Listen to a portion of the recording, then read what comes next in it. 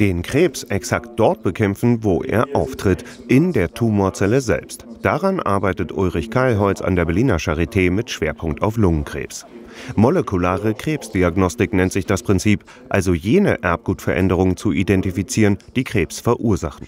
Die Hightech-Medizin ermöglicht es, jedem Krebspatienten seine individuelle Therapie maßzuschneidern. Lungenkrebsbehandlung war früher sehr schwierig, auch vor fünf Jahren noch. Und heute ist es so, dass wir eine Stabilisierungsrate haben von deutlich über 50 Prozent. Früher haben bei Patienten mit metastasierten Lungenkrebs nach zwei Jahren noch vielleicht 10 Prozent der Patienten gelebt. Heute sind das über die Hälfte. An insgesamt 15 Standorten in Deutschland wird die molekulare Diagnostik für Lungenkrebs angeboten, doch damit können noch nicht alle Patienten versorgt werden.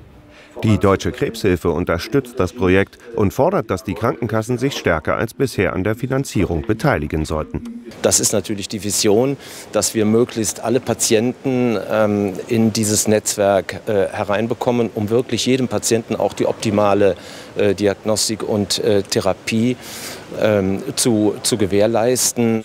2018 konnte das Netzwerk Genomische Medizin rund ein Drittel der Lungenkrebspatienten in Deutschland betreuen. Im laufenden Jahr sollen es bereits doppelt so viele werden. Und zugeschaltet aus Bonn ist mir jetzt der Vorsitzende der Stiftung Deutsche Krebshilfe, Gerd Nettekofen. Schönen guten Tag.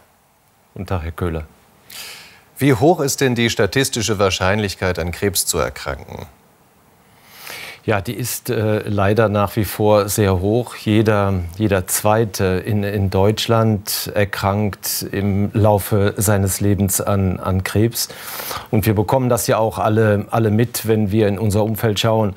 Es gibt ja kaum eine, eine Familie, die, wo, wo die Krebserkrankung nicht vorkommt. Und äh, auch im, im Bekanntenkreis kennen wir alle äh, Menschen, äh, wo jemand an Krebs erkrankt ist. Jetzt ist ja die Zahl der Krebserkrankungen in den zurückliegenden Jahren weiter angestiegen, und zwar auf mittlerweile 500.000 Neuerkrankungen pro Jahr. Woran liegt denn das genau? Ja, und diese Zahl, die wird auch, auch weiter ansteigen. Das hat aber überhaupt nichts damit zu tun, dass wir in der Krebsmedizin oder auch in der Forschung nicht weiterkommen. Das hängt einfach mit der, mit der demografischen Entwicklung zusammen. Krebserkrankungen äh, treten in der Häufigkeit im, in den späteren Lebensdekaden auf. Und von daher wird die Zahl ähm, weiter, weiter steigen. Nichtsdestotrotz äh, machen wir natürlich auch Fortschritte in der, in der, in der Krebsmedizin. Jetzt heißt es ja, es gibt vorbeugende Maßnahmen. Welches sind denn geeignete Wege, um sich vor einer Krebserkrankung zu schützen? Naja, das ist auch ein, äh, ein, wichtiger, ein wichtiger Punkt und ein wichtiges Feld für die Deutsche Krebshilfe in Zukunft. Äh, Experten, man muss sich das mal vor Augen führen. Ähm, Sie hatten gerade 500.000 Neuerkrankungen äh, in Deutschland angesprochen pro Jahr.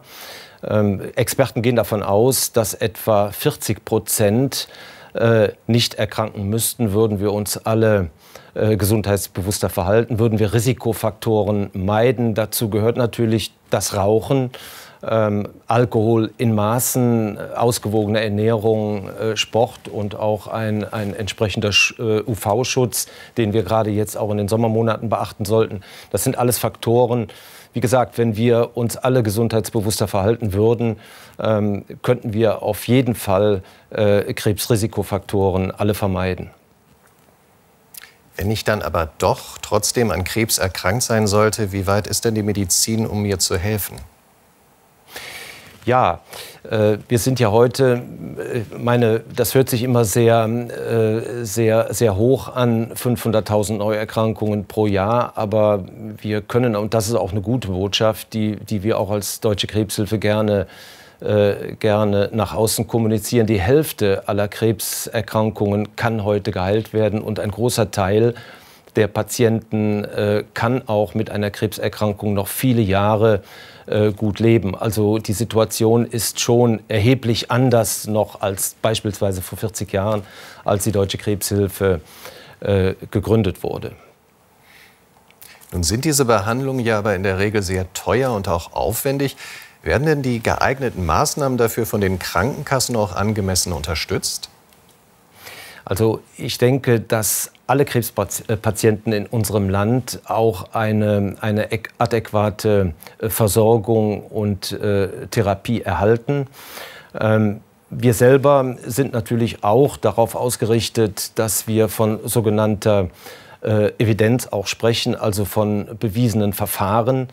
Ähm, das ist schon mal ganz wichtig. Es gibt dennoch auch ähm, innovative Substanzen, die gerade heute in der modernen äh, Krebsbekämpfung und Krebstherapie auch, auch eingesetzt werden, die möglicherweise noch nicht zugelassen werden, die aber durchaus auch dem einzelnen Patienten schon helfen können. Da brauchen wir einfach äh, gute Strukturen, um das, dass, das, dass das alles auch unter kontrollierten, entsprechenden kontrollierten Bedingungen stattfindet. Aber im Grunde genommen äh, kann man schon sagen, in Deutschland erhalten alle Patientinnen und Patienten äh, die Therapie, die sie auch für, für die Bewältigung ihrer Krankheit auch benötigen. Trotzdem wird ja auf diesem Gebiet auch intensiv weiter geforscht. Wie ist denn der Stand der Forschung auf dem Gebiet im Moment? Ja, das, äh, das ist äh, ganz wichtig, was Sie ansprechen. Die, die Forschung ist im Grunde genommen das wichtigste Instrument, was wir überhaupt haben, um in der Krebsmedizin voranzukommen. Wir selber als Deutsche Krebshilfe investieren erhebliche Mittel auch in die, in die Krebsforschung. Das ist auch der, der besondere Wunsch auch unserer, unserer Spender. Äh, Nichtsdestotrotz äh, vor dem Hintergrund, wir wollen ja weiterkommen. Wir wollen auch in raschen Schritten oder in rascheren Schritten weiterkommen als in der Vergangenheit. Wir setzen schon auch ähm, als Deutsche Krebshilfe sehr stark auf die sogenannte Dekade gegen den Krebs, die ja Anfang dieses Jahres äh, äh, kundgetan wurde unter der Federführung des Bundesministeriums für Bildung und Forschung. Äh, und hier ist ja wirklich auch politisch vorgesehen, die Krebsforschung in den nächsten Jahren erheblich zu stärken. Das wird ganz, ganz wichtig sein und das wird auch von uns begrüßt. Vielen Dank an den Vorsitzenden der Deutschen Krebshilfe, Gerd Nettekofen. Herzlichen Dank.